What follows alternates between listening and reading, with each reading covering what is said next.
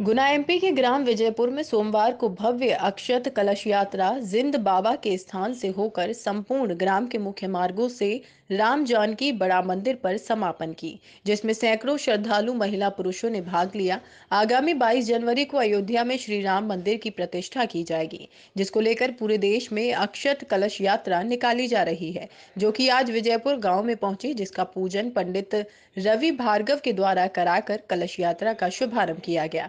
एक लाख रुपया, दस लाख रुपया, कुछ लोगों ने एक करोड़ रुपए